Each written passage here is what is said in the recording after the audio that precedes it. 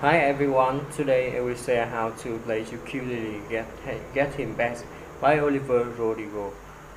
First, the keyboard in the fifth frame. The chords of this song are C, G, E, F, E, F, and D, F. First, should play Ciao, ciao, up, up, ciao, ciao, ciao. Down,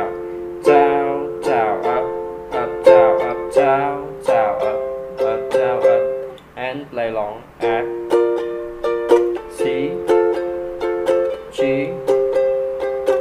E, F, C, G, D.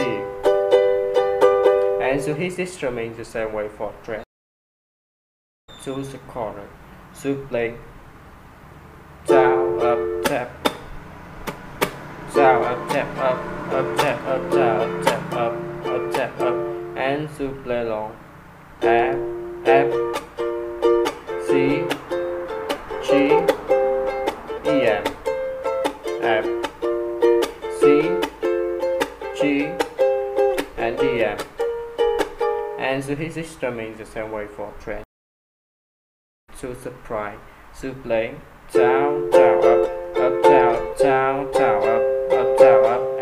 along F, C, G, G. And so his summing is the same way for track.